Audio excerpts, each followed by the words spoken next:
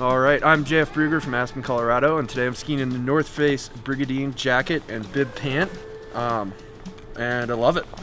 I think um, it's a great jacket for every day. I think you take it touring as well and have a nice dry experience. Um, they do have another jacket that is more touring oriented, oriented but this jacket uh, is a little more resort oriented in that it's got a lot of pockets in both the bib and the jacket for storing all of your stuff and, and on-hill snacks.